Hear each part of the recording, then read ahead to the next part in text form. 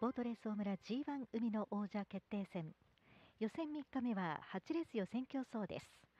1号艇足立由紀2号艇入見圭3号艇岡村正史4号艇那須啓太5号艇峰竜太6号艇中島康平。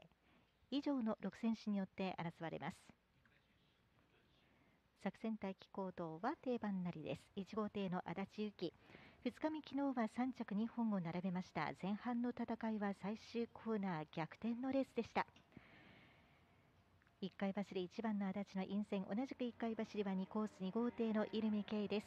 初日は陰線で1勝。このカードはピストンリング1本交換しています。3号艇の岡村正史センター線の3コース。今日前半は6コース線6着です。4コース角に4号艇のナスケータも来ます。前半の第3レース6コースから5着という戦い。そして5コース5号艇の峰竜太。初日2日目と1回走りで昨日は龍神ドリーム4コースから2着としています。6コースの大外は6号艇中島康平です。枠なり3対3の体系スタートしていきました。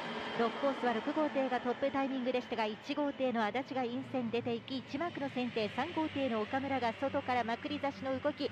2番と3番接点3号艇バタバタしています。5号艇の峰が差し上がってきて2番手先行を取りその後2号艇の入見で上位体系1号2の順。あとは6番3番4番です。スタートは前提正常でした。1号艇の足立が先頭で2マークを旋回5号艇まくり差しのハンドルで峰が足立の懐に詰め寄りました。わずかにこらえて1号艇の足立が先行追走一定進半で5号艇の峰。